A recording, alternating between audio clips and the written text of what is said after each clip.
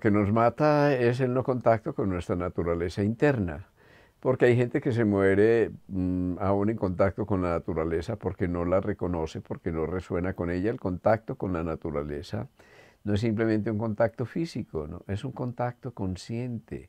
Y cuando tú ves el árbol, cuando aprecias la flor, cuando aprecias el viento, el aire, la luz, el paisaje, es porque estás en contacto con tu naturaleza interna. La mejor manera de entrar en contacto con la naturaleza es que tú te puedas interiorizar, porque en última instancia uno no puede ver el paisaje si no es adentro, ¿no? Claro, el paisaje entra a través de la retina, es reelaborado por el cerebro y tú pintas de nuevo el paisaje y te inventas el paisaje.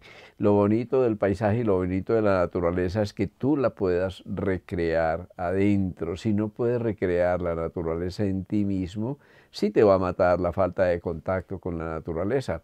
Pero digamos que estás en la cárcel, que estás en un lugar confinado, que no puedes ver la naturaleza, que hay un mal tiempo, tú sabes una cosa, que la naturaleza es interior. Si cierras los ojos y en este momento percibes el océano, el río que desemboca en el océano, la playa, la brisa, las gaviotas, estás recreando una naturaleza interna que es tan real como la naturaleza externa, porque es aquello que tú has construido con todos los paisajes de la naturaleza que ves afuera dentro de ti.